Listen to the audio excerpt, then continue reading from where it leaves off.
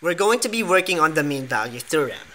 If f of x is continuous on the closed interval ab, and if f of x or the function is differentiable on open interval ab, according to the mean value theorem, there is a number c or point c in the open interval ab, ab such that f prime of c is equal to f of b minus f of a all over b minus a. Now, to simply put, this particular theorem is basically asking you to find a point C in your function based on the closed interval AB that when you create a um, tangent line based on that particular point, it will be parallel to the secant line connecting the interval A and B. Now, to give you an idea on what mean value theorem is telling you, this is a particular function or a graphical display of a certain function. If you will notice, we have an interval AB, this two points right here, uh, the first point which is A, the second point which is your interval B, will be your closed interval for this particular function and we need to satisfy the mean value theorem by finding point C inside this interval that will be parallel to the secant line connecting the two endpoints from the given closed interval. And in this particular graphical display, you will notice that we have point C right here, that when you connect or when you create a tangent line from this point of tangent C, it will be parallel or it will have the same slope as the secant line connecting A and B. Now, this might be a little bit complex, but um, we're going to be working on our now for the first example, we need to verify the mean value theorem for this particular function and if it's satisfied, we'll be able to find point C for that function that will be parallel to the secant line connecting A and B. Now the function that we're going to be working on is f of x is equal to x squared at closed interval 0 and 2. Now we know that x squared is a parabola and I am showing you the graph of a parabola right here with a closed interval 0 and 2.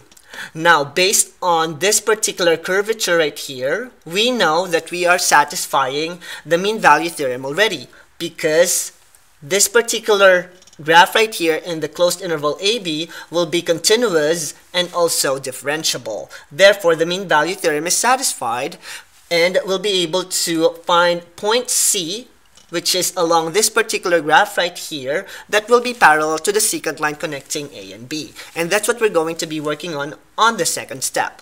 Now, for this particular step, we have f prime of c, given the formula f of b minus f of a all over b minus a, we'll be able to find point c using this formula. Now, how are we going to use this formula? Using the given closed interval. So, a is equal to 0, b is equal to 2. And if we find f of b and f of a, all you have to do is to substitute a and b to the function which is x squared. Therefore, f of a is equal to 0 because 0 squared is 0. And f of b is equal to 4 because 2 squared is equal to 4. Now, organizing our values right here, a is equal to 0, b is equal to 2, f of a is equal to 0, and f of b is equal to 4. Now we are ready to use this formula to find f prime of c. And using the formula, f prime of c is equal to 2. Now, we're not finished with our steps yet because we only found f prime of c. We haven't found point c yet, and this is just basically the slope that will be parallel to our secant line. Now, how are we going to find point c given f prime of c?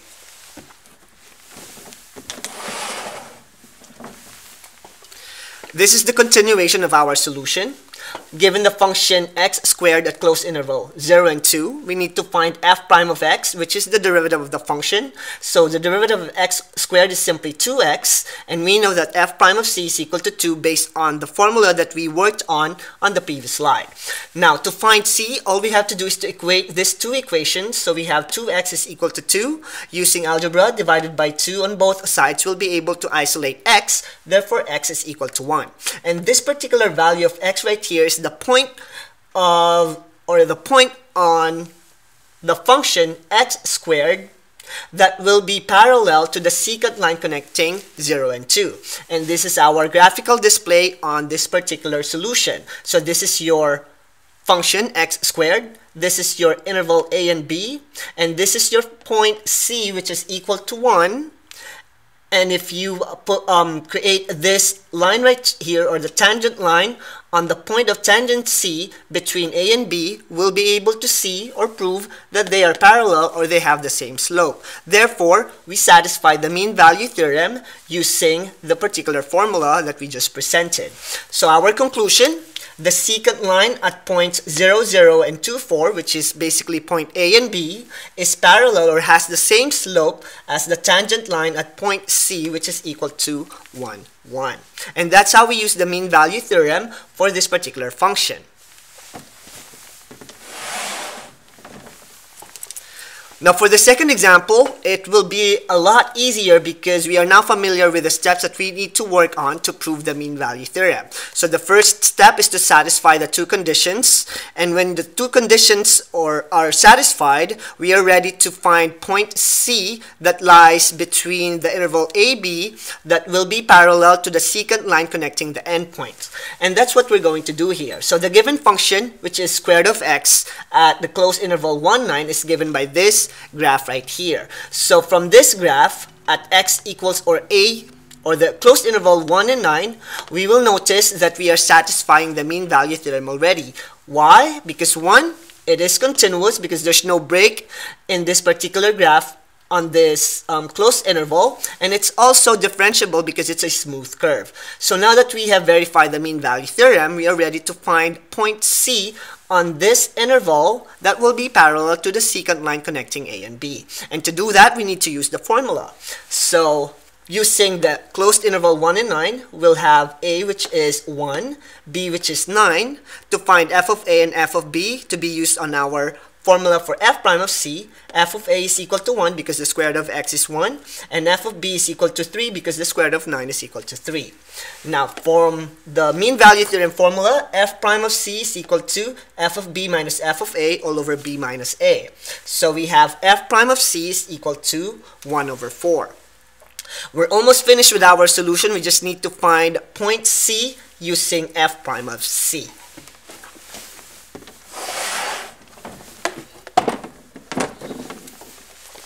So once again, the f of x or our function, which is the square root of x, has a derivative of 1 over 2 square root of x. And we also have f prime of c using the formula that we used on the previous slide, which is equal to 1 over 4.